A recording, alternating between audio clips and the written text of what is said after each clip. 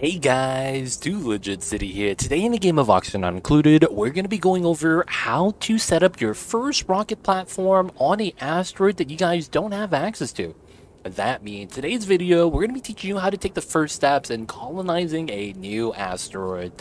Of course, this means that your new asteroid you guys are planning to set up shop, set up base, is not going to have the teleporter that your first asteroid that you guys should see will have there is a teleporter on the initial starter asteroid, and we're not going to be talking about the asteroid that that's linked to. Instead, we're going to be talking about the other asteroids that are going to be uh, a little bit further away that requires you to have a rocket go out and then do a manual rocket platform creation. And we're going to be going over exactly how to do that safely and doing it so that you don't have to worry about any issues, anything going bad, and it's more or less a fail-safe option if you guys follow these steps carefully. Now to get it started, what we're going to be utilizing today is going to be a Radbolt engine for the example. And the only modules you actually need on this are going to be both of these right here. Both of these modules, the Rover and the Trailblazer module, are both 3 height, meaning that you need at least 6 height for the rocket, not including the Spacefarer plus nose cone combination.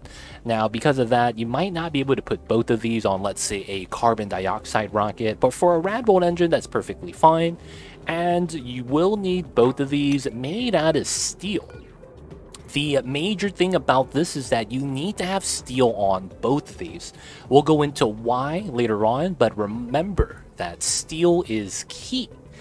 Now, there's no other option. You have to use steel. Now, of course, uh, the engine is going to be up to you, just as long as you guys have the space for this. The other modules, if it's not something I included, could also be optional, meaning that this battery and artifact module, it's up to you whether or not you guys want to have these on top. And the Spacefarer module, you guys could also use the Solo Spacefarer if you guys don't have the height, and you're really not going to need everything that I have inside my rocket. Now everything here, there is a lot of excessive stuff. We have a lot of rooms set up, a washroom, barracks, and a park. And we also have a telescope in here so that my dupes, you know, if they are outside of a asteroid waiting for the rocket platform, we could always, you know, scan out the space, explore a little bit more of the star map, also because of some of the times you might send a high morale requirement dupe someone like Brainless over here needs 20 morale. So we're going to need to provide them some extra morale with the rooms. Washroom, park, barracks. You guys could always swap out the park for a mess hall. They're about the same size, different requirements, of course. It's going to be up to you what you guys want to do for that. Now, the only thing that's necessary here that I recommend is, of course, the uh, wall toilet. You guys don't need to have the hand sanitizer. That's really just for the room bonus. Also cleans their hands and then the layer of plastic up top. You guys could substitute lead for this, uh, that's also a great radiation shield. However, the issue with space is that you get radiation sickness. And one of the easier ways to combat this is by putting a layer of plastic. As you can see, the 100 rads drops down to 33 rads, so I'm not worried too much anymore. Not only that, the oxygen also acts as a layer as well. And I always recommend having a layer up here. I've had dupes go 20 tile round trips and don't even get the minor radiation sickness by just having them use this and of course peeing out the radiation. So that's recommended. The uh, water toilet's also recommended due to being able to pee out the radiation. And of course, a storage bin. Now, if you guys opt to build a suit dock in here, you guys might not need this. However, due to how the microwing works, I always like to have a suit in the storage bin at always. Uh, the easiest way to do this, sweep only, click your Atmos suit, priority 9, max priority of course, and what you're going to want to do is go to your Atmos suit lockers. These over here are going to be your suit lockers, and what you're going to be wanting to do is hover over the lockers, it will give you a durability of the suit you're going to be wanting to look for a high durability on the suit. Ideally, you want the highest possible, and it's looking like we have 89% as the highest percentage. Clicking on that, you can also scroll down on the dock to see if the suit's fully charged with oxygen. It's going to be 75 kilograms, and once you're ready, click undock suit, and they're going to drop it. Now, the one thing about this is that if you have a deliver suit command and you click sweep, your duplicates are going to pick this up and sweep it to the locker.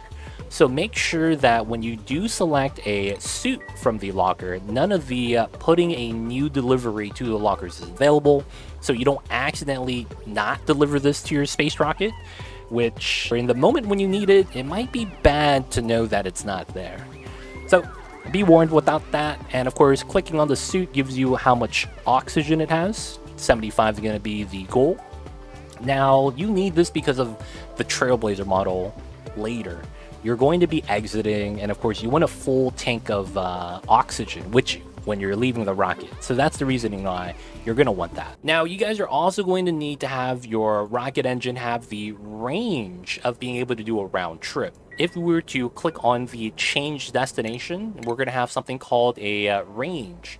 That range is going to be how many tiles your rocket's going to be able to navigate over. And what we're going to want is to be able to go to our destination and then have enough tile trips remaining for the range to go back to our starting asteroid. If you guys don't have the rocket engine with this capability, I recommend tacking up until you can so that you could safely do it. I am not advising that you don't go with a refueling strat. However, I am not going to be going over that in today's video. So if you guys do want to tackle that challenge, you guys are certainly free to do so. You don't need a Radbolt engine and the process is going to be simple. We are going to go to the star map once we're all said and done, fly right outside to the purple ring of any of the asteroids. And then once we're there, we're going to drop off a rover. You're able to drop off rovers and trailblazers the moment you're inside this purple ring by having your rocket on one of these tiles. Once you land the rover, you're going to be able to explore, and then if you're ready to build a platform, you launch the Trailblazer module. We'll show you the process in a little bit. However, I will not be using this Bolt engine because of how this is a kind of a late game research, requires a lot of tech. You're not going to want to wait for this in a lot of the time. So in the example today, we're going to be using a carbon dioxide engine. The carbon dioxide engine will not have the same height range for both of these modules. So we're going to have to do a roundabout of a method in order for it to work. However, the process doesn't change and you guys could do the same thing with this rocket while I'm going to be doing it with the CO2 engine. All right, we're going to be here with our carbon dioxide engines because of the height uh, restriction. We only have two extra tiles outside of the solo Spacefarer and the Rover's module. I need an extra tile of space for the Trailblazer as well. We're going to have to do this one at a time. The rocket of choice is going to be this rocket, CO2 engine, Rover's module, and a solo module. Inside, make sure you want to have oxygen. As always, you want to be able to breathe. Your suit inside your storage bin, wall toilet, two tiles of radiation guarding, and of course, a fridge. If you guys want to have some food which you guys duplicates could last about three cycles before they start starving. And if you guys want i recommend bringing unperishable food. That's going to be things like makaru that does not perish uh, there's also berry sludge that I have not found yet. Nutrient bars, swamp chard, hearts, those food types that you guys would find inside the vending machines or start off with, or depending on the biome, you'll find them growing on the ground. Those are great as they don't perish. If you guys don't have unperishable food though, you guys can look up something called berry sludge. Berry sludge is arguably one of the best foods in the game due to the fact that it's good morale at plus 3. That's the same as barbecue. And because it never spoils, it's ideal because you don't have to think about food in the space mission then. And because it's sleet wheat and bristleberries, if you run into either or of those, you guys want to grab those and try to keep the seeds as fresh as possible so that you could start planting them. And then once you get pips, you could start wild growing all of these plants. Of course, you get domesticated as well, and that's going to be up to you, but I highly recommend having berry sludge if you guys want to take food with you. Now, once you guys are ready, we're going to be launching and trying to go to uh, Slevlin. Yes, that is the asteroid that we need to check out. We haven't even uh, viewed the planetoid yet, as we've only scouted it with a telescope. So we're going to see it for the first time today, and we're going to drop off a rover. All right, so we're here Now, what you're going to want to do is deploy the rover. We're outside on the purple ring. Now that we're at the purple ring, we also get to see the surface of the planetoid. By clicking on that, we get to see what's on the top and nothing more. We can see here we have a lot of metals, pips, crash satellite, which is a lot of radiation, a little bit of water, mealwood, oxyfern, that's not bad. Going to the star map, we can see more details about the planet now, the volcanoes, biome makeup, and of course, we're going to want to deploy. So click on your star map, click on your rocket, click deploy, and now we're going to look for a good location. Now, the first thing you guys want to think about is height. The max height right here is going to be the biggest problem for going to new asteroids, as if your rocket's too tall, which is a problem for some of the other rockets like hydrogen and petroleum due to the fact that they need a fuel tank and an oxidizer tank as well. This means that you need to build further down as if a rocket platform is, let's say, over here, and it's too tall and it gets clipped by the red zone right here, you will not be able to land. Meaning that you're going to have to trim your rocket. There's nothing you could do about the rocket platform unless you do another mission again. But for our sake today, we're just going to land the rover. So once we deploy the rover, we will see it start landing. From here, we're going to be heading back and what we're going to be doing is going to swap out the module. We're going to swap the rover for a trailblazer. Now, of course, with the rover, though, this is going to be your scout. If you guys want to, you guys could try to look for resources, geysers, maybe artifacts, depending on what you guys want to do. And we're going to be doing that. So we're going to do some digging commands because rover doesn't have a lot of resources. We're going to do by 3 by 3 digging pattern. You can do it vertically to create a ladder. You can do it to the side, like so, to create a stairwell that you could naturally climb up and down.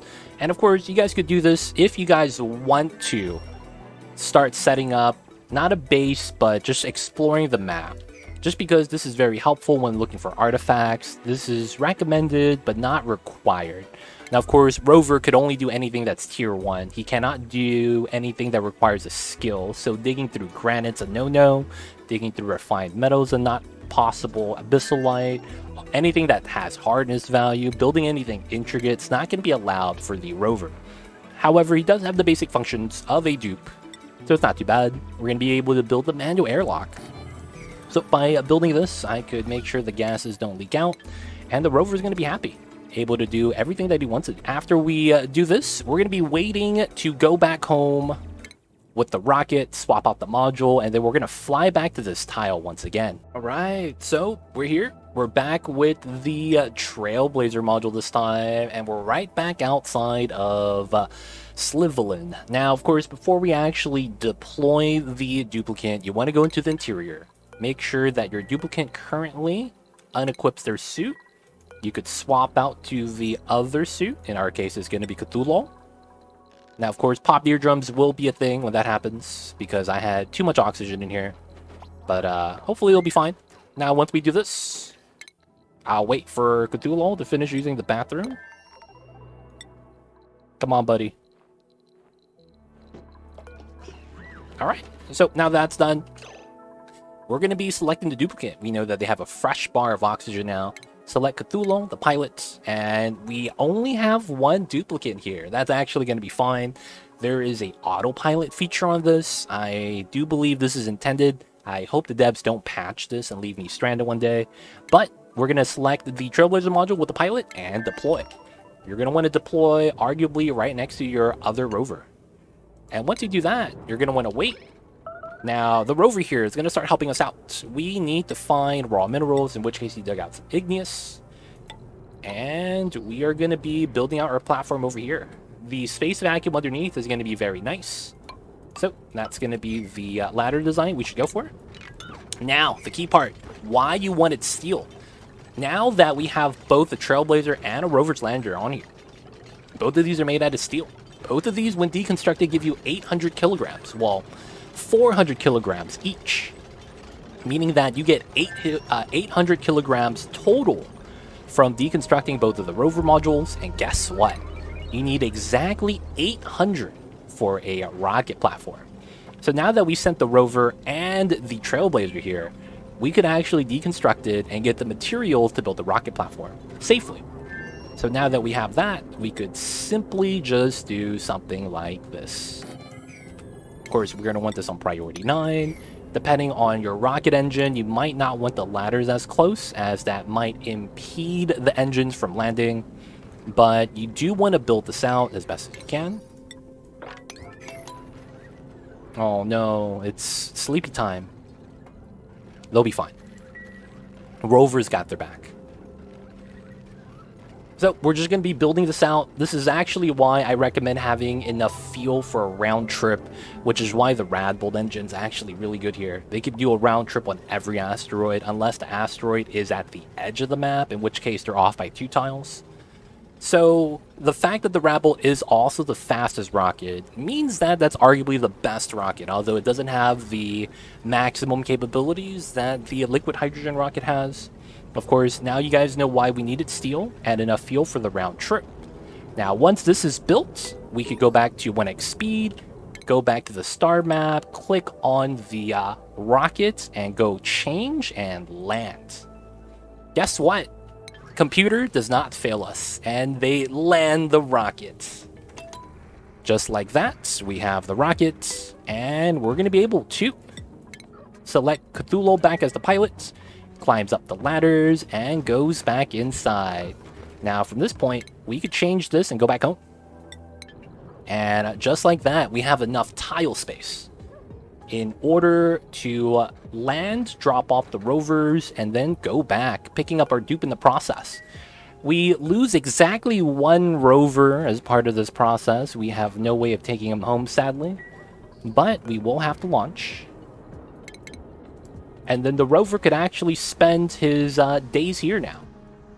Being able to scout out the rest of the asteroid, doing what rovers do best.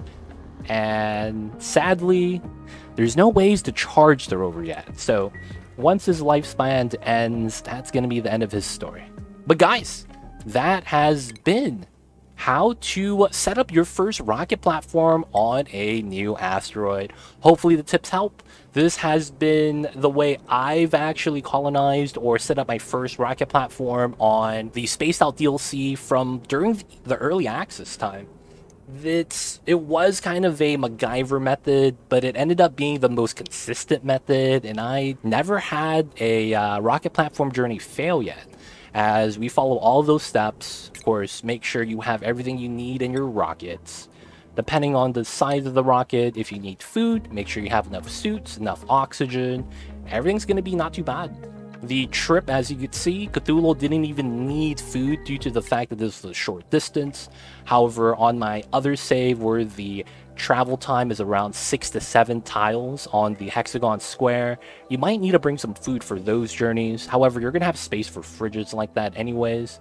But guys, if you guys have any questions about this, leave a comment down below. Hope you guys enjoyed today's video on how to set up your first rocket platform. But that's going to be time for me, guys. And of course, don't forget to like and subscribe. Thank you guys.